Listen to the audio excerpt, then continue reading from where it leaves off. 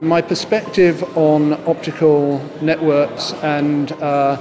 how, they, how the research community can contribute is uh, driven by my view of standardization, and I see standards as being critical to building networks that can actually be used and uh, can meet the requirements of uh, network convergence. And in order to achieve the standardization, we actually need a partnership between the research community,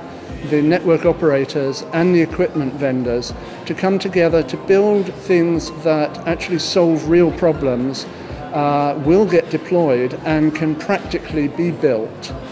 So that means uh, not just playing with the wonderful things that you can do with optics, but understanding how those things can be used in the networks and what benefits they bring uh, in addressing the commercial models and the inevitable crash between uh, the growth of revenue for service providers and the growth of demand.